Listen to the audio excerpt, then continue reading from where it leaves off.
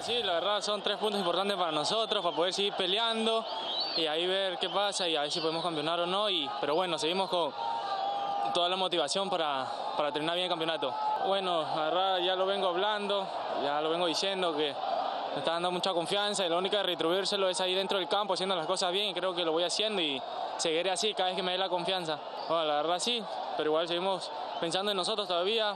Ahora que ganamos acá, queda pensar en el siguiente partido que viene y afrontarlo de la mejor manera y ganarlo, nada más.